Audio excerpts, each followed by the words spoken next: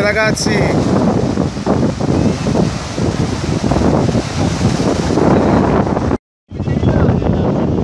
Dottore!